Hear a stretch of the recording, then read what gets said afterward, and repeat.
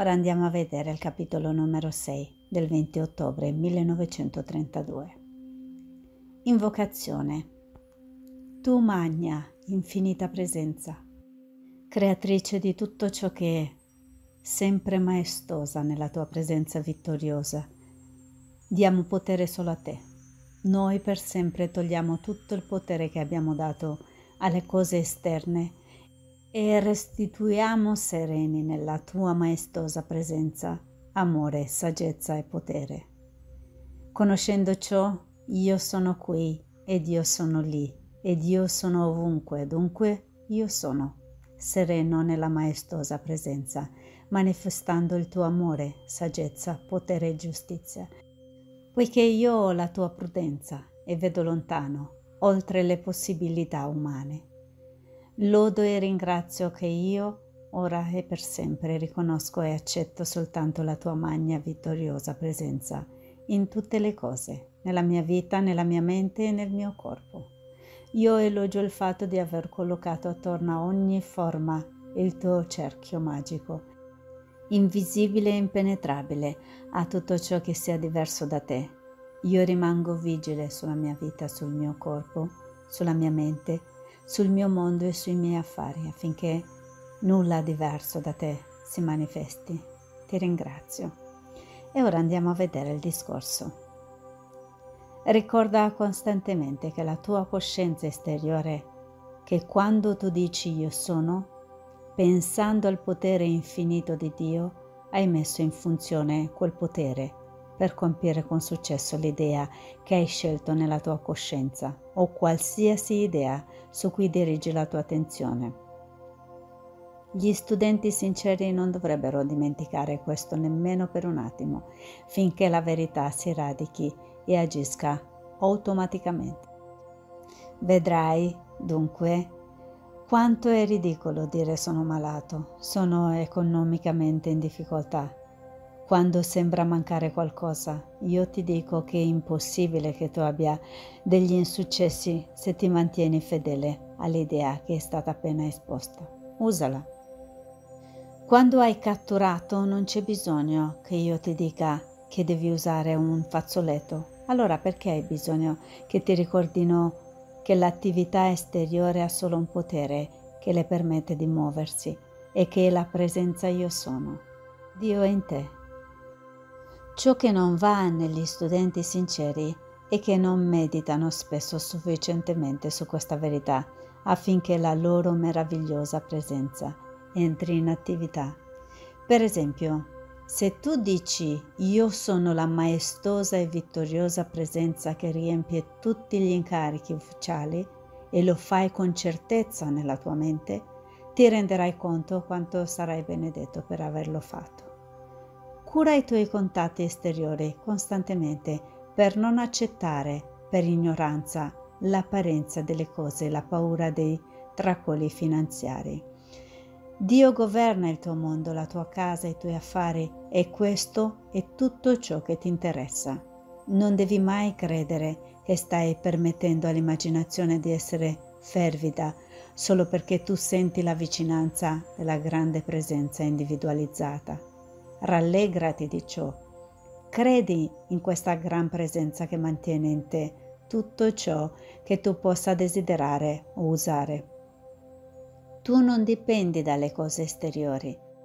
Praticando questo magno potere questa presenza che contiene tutto, non vedi che se anche tutti i beni finissero, tu ne saresti sempre provvisto. Io voglio che tu senta, che tu accetti gioioso e che con tutto il tuo essere tu conosca che il potere della partecipazione non è un mito, è reale.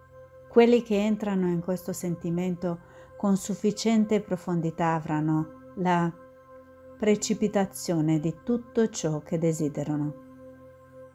Ci sono bambini che sono stati puniti per aver visto esseri angelici e per aver manifestato di avere una percezione interiore.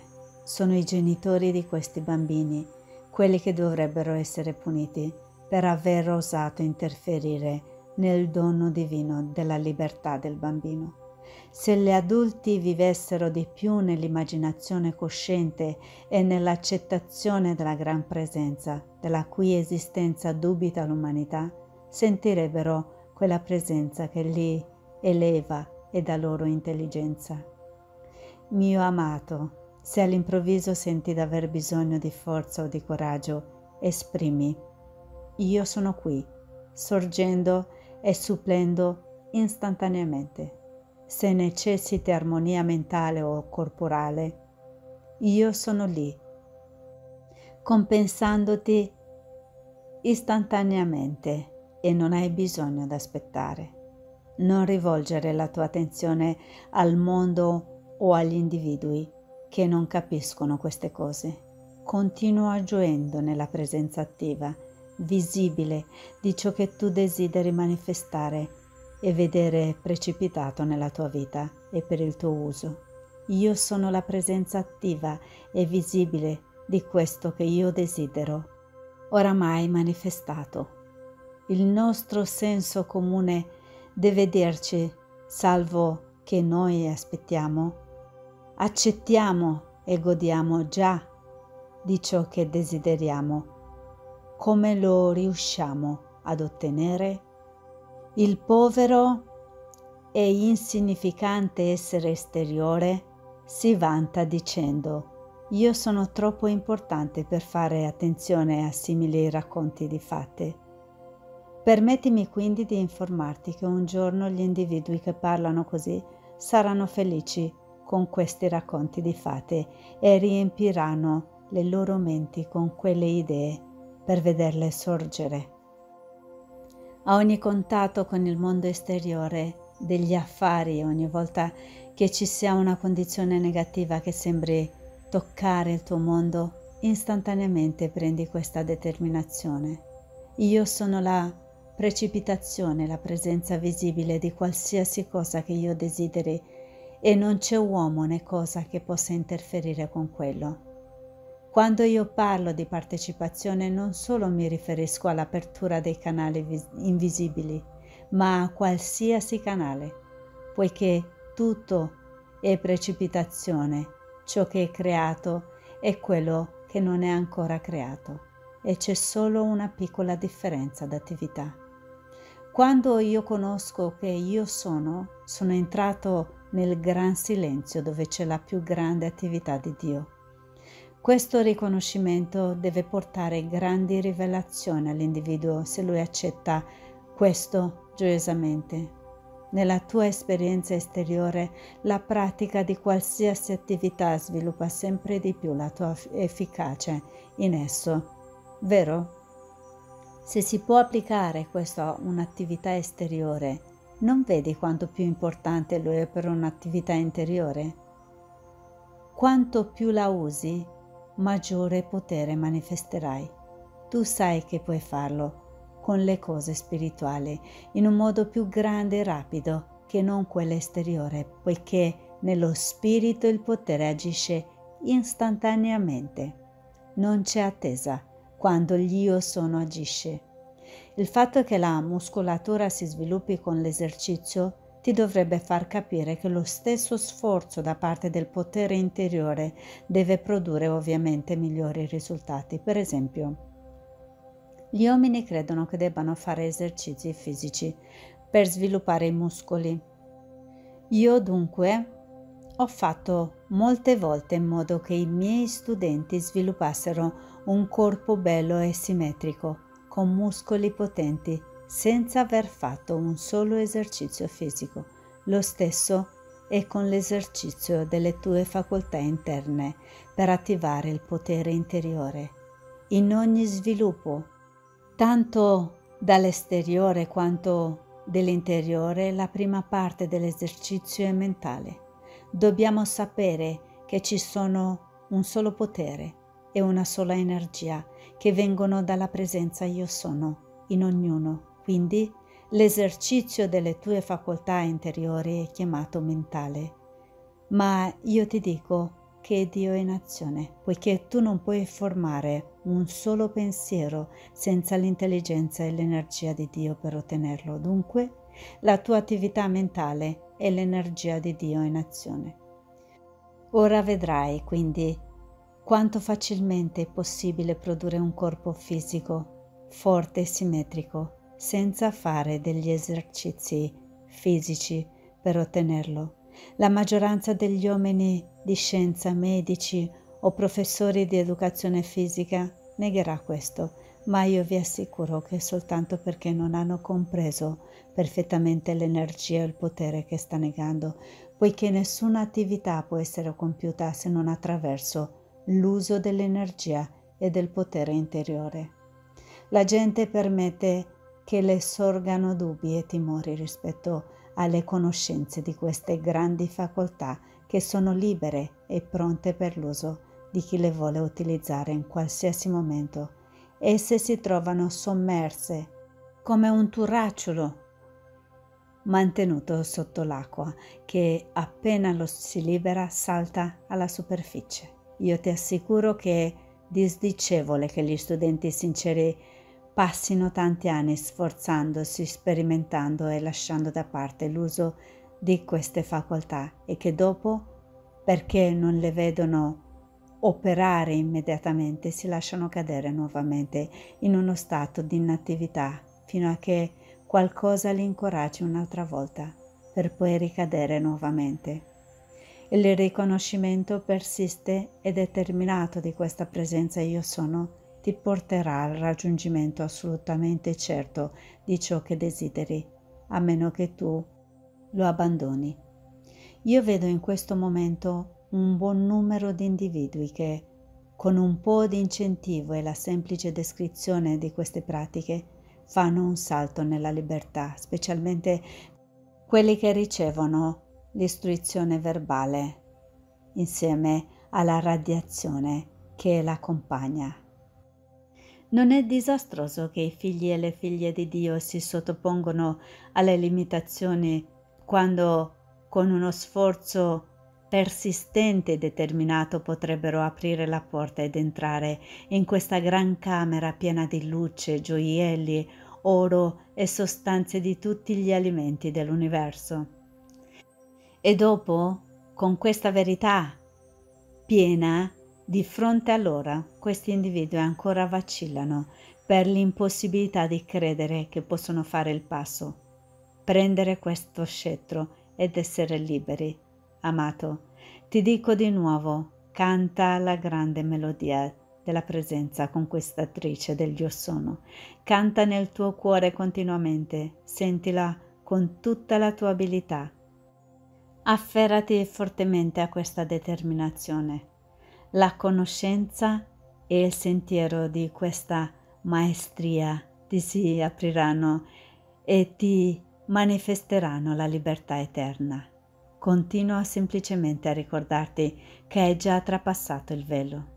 Qualsiasi maestria che l'individuo abbia acquistato nei suoi affari e nel suo mondo è e sempre deve essere un ritiro sacro, un santuario interiore dove nessun altro individuo inquisitore possa entrare.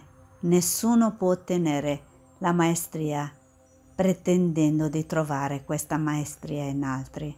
Cercare, trovare applicare la legge del proprio essere sono il cammino sicuro verso la maestria e unicamente quando l'individuo lo ha raggiunto può comprendere in realtà ciò che è la vera maestria.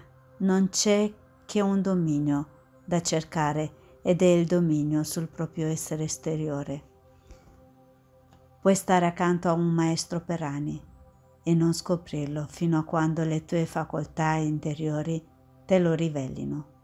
Si può abitare nella stessa casa con un maestro per anni e non saperlo fino a quando sorge una crisi e il potere reale si rivela.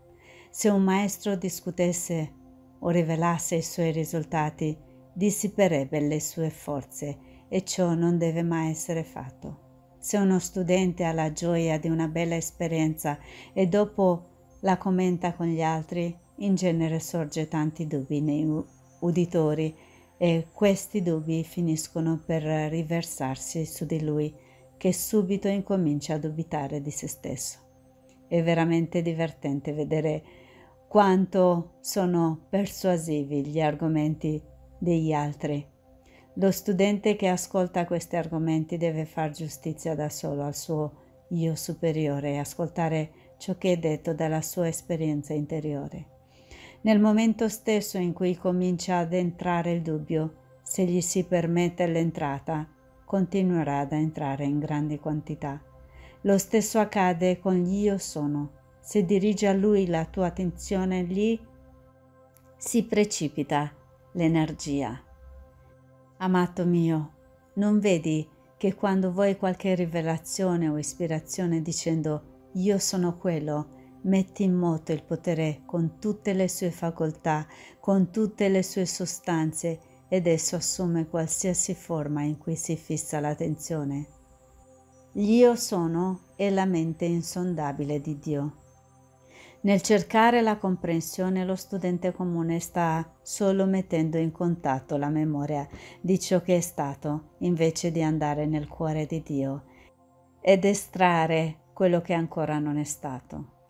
I discepoli alcune volte non si rendono conto che ci sono state molte civiltà che hanno raggiunto grandi risultati totalmente sconosciuti oggigiorno. Atlantide, Lemuria e la terra di Mu sono solo frammenti di altre grandi civiltà che sono esistite. Per riuscire a fare cose non comuni, quegli studenti che lo vogliono devono prendere la seguente decisione. Io sono il cuore di Dio e ora produco idee e missioni che mai sono state prodotte prima. Considera solo, io sono quello che desidero attrarre, la presenza io sono e quindi il cuore di Dio. Si entra immediatamente nel grande silenzio nello stesso momento in cui si pronuncia io sono. Se tu riconosci che tu sei, io sono, allora qualsiasi cosa che tu desideri diventa istantaneamente manifesta. Credere e avere fiducia in ciò che tu credi sia la verità. C'è quindi un intreccio fra la credenza e la fede. All'inizio si fa la credenza, se è mantenuta diventa fede. Se tu non credi che qualcosa sia vero, puoi portarlo alla manifestazione se tu non puoi credere nelle tue parole quando pronunci io sono tale o quale cosa, come può stabilirsi e manifestarsi l'antico detto non c'è niente di buono né di cattivo, è il pensiero che lo rende così. È verità assoluta. Se ormai sai che l'energia divina entra nell'individuo in uno stato di purezza perfetta, allora devi renderti conto che è il proprio individuo colui che riqualifica l'energia, imponendole la propria impurità. Questa energia pura di Dio è proiettata dallo sforzo cosciente dell'individuo che le deve imporre qualche tipo di qualità, poiché questo è il privilegio come creatore. Tutte le persone stanno costantemente qualificando questa energia che si versa fuori in continuazione. Ognuno sta impegnando il suo colore in lei tramite la propria coscienza. Ogni attività esterna che qualifica ha con sé la facoltà inerente al suo colore e il suo suono. Non c'è attività di nessun tipo che non abbia un suono e un colore inerente a lei. La perfezione di Dio naturalmente non ha colorazione. La colorazione appare quando la facoltà esterna qualifica. Ogni studente deve assumere la responsabilità della propria attività nel qualificare l'energia che invia. Non considerare l'elemento tempo. Quando affermi che qualcosa che desideri sia manifesto, fallo con gioia e mantienilo fermamente fino a quando si manifesti. Se mantieni costante la presenza io sono mentre fai quello che tu vuoi, entrerai nella pienezza e perfezione di tutto ciò che è già pronto per essere usato da te. Ogni risultato permanente deve essere la conseguenza dello sforzo cosciente di ogni individuo. Domanda. Che cos'è la pena? Risposta. È mettersi in accordo con l'imperfezione. Non ti lasciare mai invadere dalla pena, poiché è come se ti lasciassi trascinare nelle sabbie immobili, pur avendo le ali per elevarti sulle alture, sopra ogni cosa distruttiva. Al contrario, eleva quello che la pena sta testimoniando e che vuole generare in te. Non giudicare. Mantieniti fermo nella presenza io sono e tutto manifesterà la perfezione. Per ogni condizione imperfetta che tu veda, specialmente la vecchiaia, di io sono la perfezione di quell'individuo che ha l'apparenza di vecchiaia. Così avrai messo in azione Dio dentro quell'individuo, poiché anche lui pronuncia l'io sono, anche se lo ha detto in senso dispregiativo. In ogni caso, lo hai spinto a usare costruttivamente l'io sono. Non importa ciò che tu ascolti dire nel mondo esteriore, mantieniti fermo. Non lasciare disviare, poiché stai producendo perfezione e devi farla manifestare coscientemente. Se non sei attento puoi lasciare entrare un'espressione che ti perseguiterà per anni se non la cancelli. Quando stai usando coscientemente la gran legge, sai che il potere attivo del pensiero di Dio sa perfettamente la direzione verso dove va e agisce. Di conscientemente al tuo io sono che faccia quello che è necessario. Digli, io sono l'intelligenza che qualifica questo con ciò che è necessario. Questo certamente se ti trovi nel caso di non saper cosa fare in un dato momento. L'importante è che rivolgi la tua mente verso io sono, che ti guida e ti sorge. Per guarire io ho avuto un discepolo che aveva qualificato in tale modo il suo cerchio elettronico con il potere di guarigione, che lo chiamavano l'ombra sanatrice. Nel momento in cui uno entrava in contatto con il suo cerchio elettronico era guarito. Domanda. Comprendendo che Dio è amore, perché Dio si individualizzò? Risposta. Per avere qualcosa da amare. Domanda. Perché furono divisi i raggi? Risposta. Per esprimere l'amore. L'amore è il principio attivo di Dio.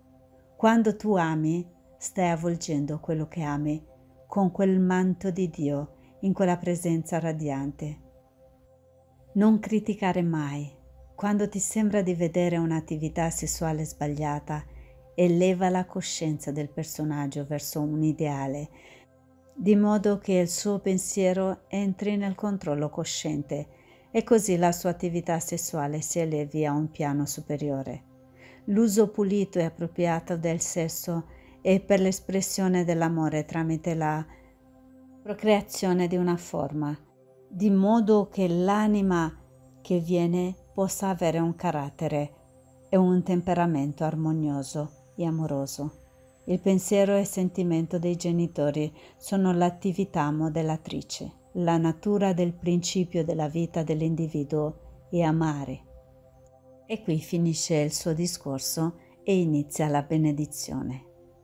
Infinito Dio dell'amore, ti ringraziamo della tua radiazione di grazia oggi, per riempire con la tua magna radiazione tutte le cose dappertutto ti lodiamo e ti ringraziamo per essere entrati nel tuo mondo, dove tutto è bello, dove la tua radiazione creatrice in ogni pensiero porta alla perfezione ogni cosa sostenuta dai nostri pensieri.